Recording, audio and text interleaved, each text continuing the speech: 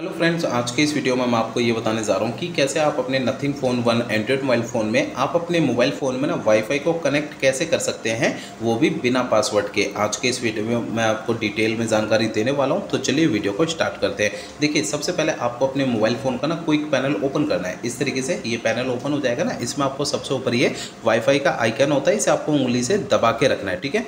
तो आपका ये पेज आएगा। अब देखिए, इस पेज में आपको पहले तो वाईफाई के सामने जो बटन है, इसे चालू कर लेना है तो आपको नीचे आना है। नीचे आएँगे तो आपको ऐड ये जो है ना ऐड नेटवर्क इसके सामने जो ये ऑप्शन है स्कैनर का स्कैनर पे टैप करना है तो ये आपके वाईफाई का स्कैनर होता है, ठीक है? अब आपको करना ये है कि आपको अपने इस वाईफाई के स्कैनर से सामने वाले पर्सन का जो वाईफाई का क्यूआर कोड होगा ना, उसे स्कैन करना है, जिससे आपके फ़ोन में वाईफाई कनेक्ट हो जाएगा, वो भी बिना पासवर्ड के, ठीक है? तो अब मैं आपको ये भी बता देता हूँ कि सामने वाले पर्सन के मोबाइल में स्कैनर सॉरी सामने वाले पर्सन के मोबाइल फ़ोन में वाईफाई का क्यूआर कोड कहाँ पर मिलेगा? देखिए, मान लीजिए सामने वाले पर्सन का मोबाइल फ़ोन जो है ना तो उसमें भी आपको जो है ना, ये जो वाईफाई का ये जो आइकन होता है, इसे उंगली से दबा के रखना है सामने वाले पर्सन के मोबाइल फ़ोन में, ठीक है? और देखिए, सामने वाले पर्सन का जो वाईफाई जो कनेक्टेड होगा ना तो कनेक्टेड वाईफाई के सामने ये सेटिंग का आइकन होता है। सेटिंग का आइकन को टैप करना है।